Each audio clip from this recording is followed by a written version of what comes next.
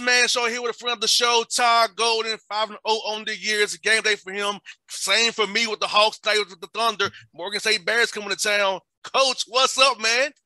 Good to see you, JR. How are you, sir? Hey, I'm glad I'm blessed, highly favorite man. It's football, basketball season here. Hey, you 5 and 0, man. I'm seeing you doing big things in non conferences always, man. Look at you, man. I see you working, brother.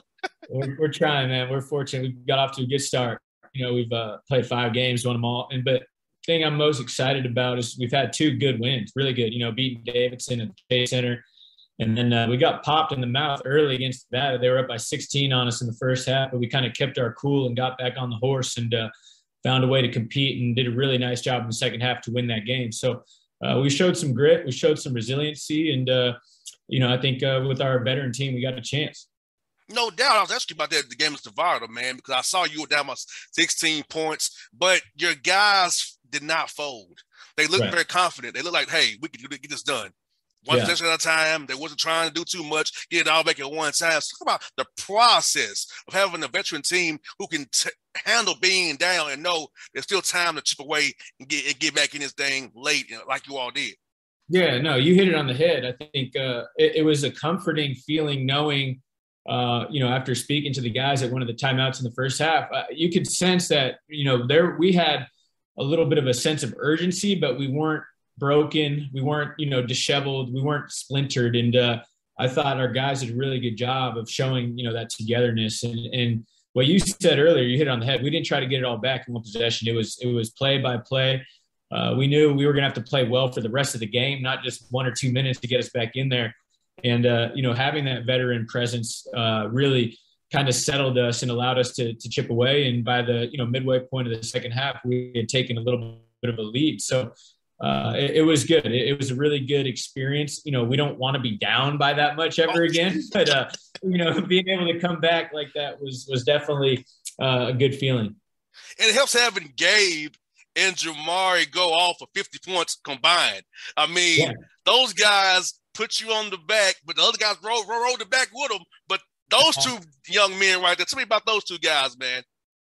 Yeah. I'll tell you what, it's uh, I've learned a lot in my my few years being head coach, and and you're you're really as good a coach as the players you have, and to have two young men like that uh, really step up. And you know, Nevada's a great team. They're really you know they've struggled a little bit record wise out of the gates. Their personnel is really good once they get a little settled, get back in their home gym for they're going to start whapping on some teams.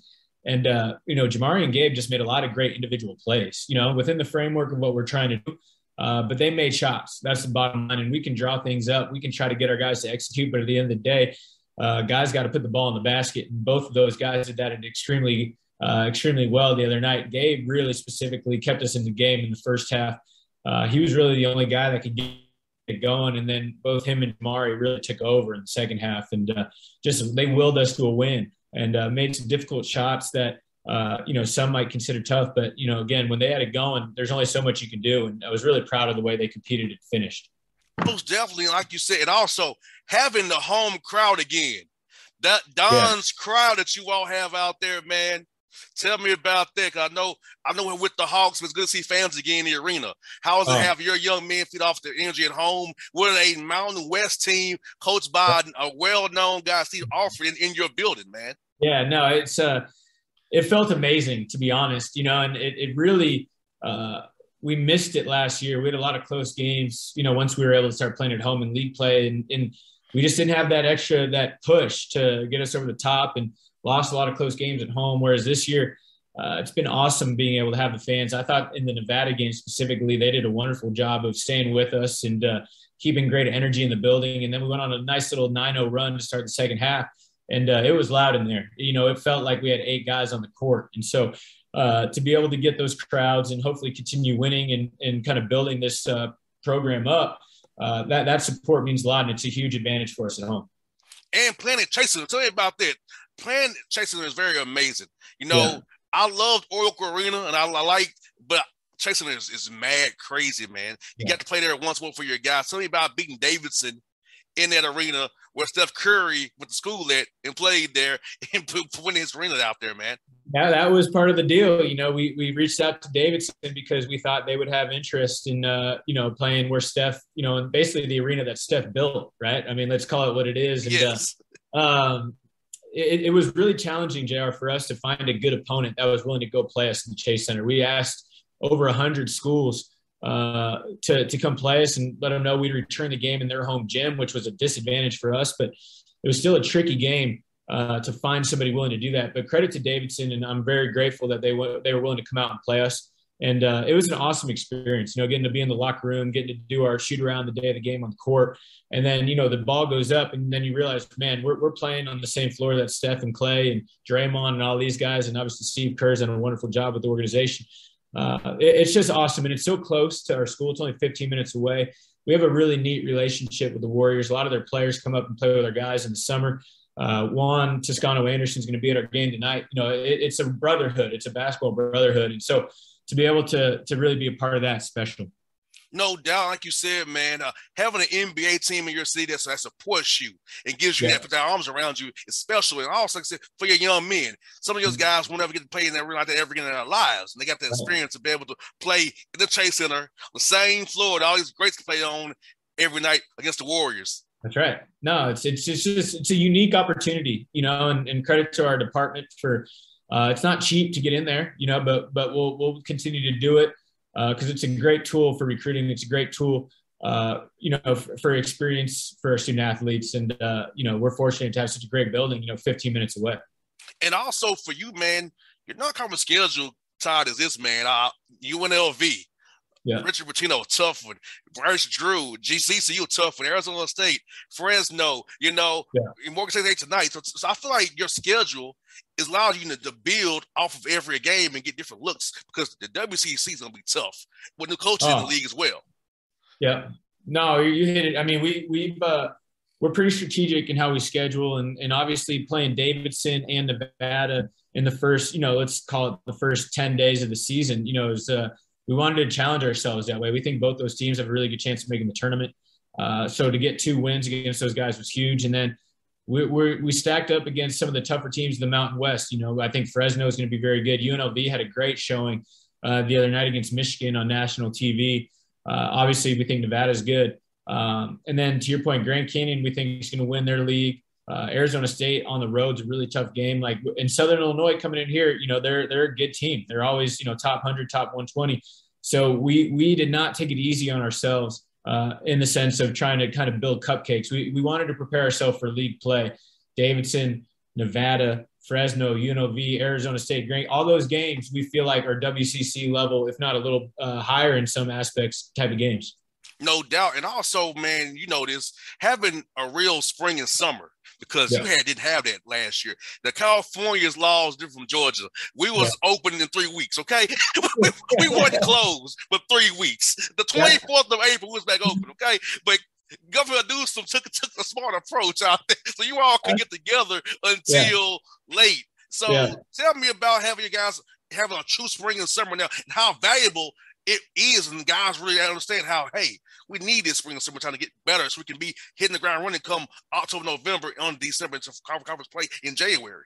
No, it's it's the most it's the most underrated thing, and especially for our group. You know, we were able to bring some pretty important pieces back within our team, but we added five guys uh, that were transfers. Then you know, we just had a lot of molding to do. You know, we we had a lot of building uh, of our team to do and we get those six weeks in the summer those were incredibly important. You know we were spending a lot of time together off the court uh, just learning each other and getting comfortable with each other. Same for the fall. I mean th- that's time where you really build your team and get comfortable with each other. So uh, I think it, it, was incredibly important for us to get off to the start. We did because of the, that time we spent together in the summer and the fall.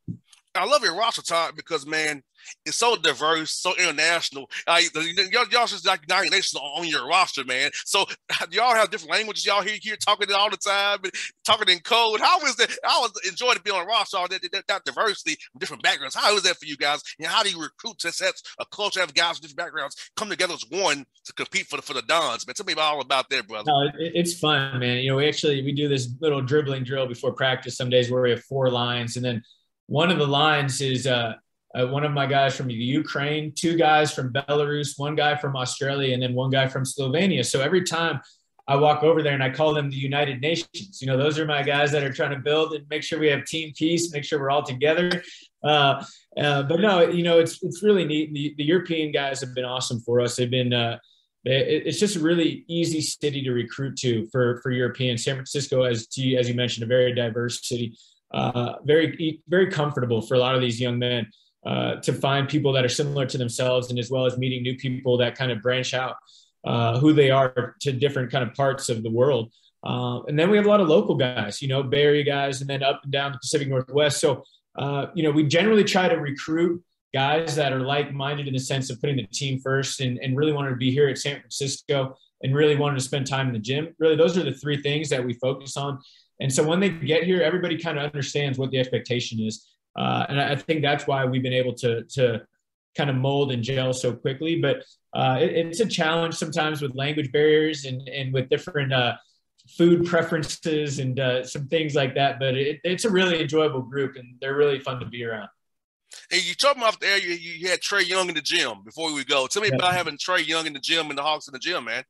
No, it's uh, it, it's another great thing about this job is, uh, you know, being so close to the Warriors facility and all these teams stay in the city, obviously, and they want uh, a place to go practice the day of or day before the game. So, you know, we had we had the Hawks in here a couple of Sundays ago, which was great watching them practice and, and seeing how a lot of what they do in practice is similar to what we do in our practices it was really neat for our guys to see that. And then two days prior to that, Zion was in here working it out, trying to get in shape, get back on the floor for the Pelicans. And, and James Harden's been, you know, we had, we've had a number of really impressive, uh, highly accomplished players getting work in here. And for our guys, it's really cool. You know, they get to see guys that they look up to that, you know, are making good amount of money in the NBA, uh, get to see them in our gym. Um, again, it's just, it just builds to our basketball environment that we have. Well, Coach, but thank you for joining on the game day, brother. Hope yep. to talk to you in the, the, new year, man. Be safe. Keep getting those W's, man. I'll be cheering for you as always, man. I appreciate you, JR. It's uh, always great catching up. I'm glad you're holding it down in Georgia, and uh, we'll be in touch, bro. I'm around. All right, brother. Be safe, man. Yeah. Take care, man. See you now.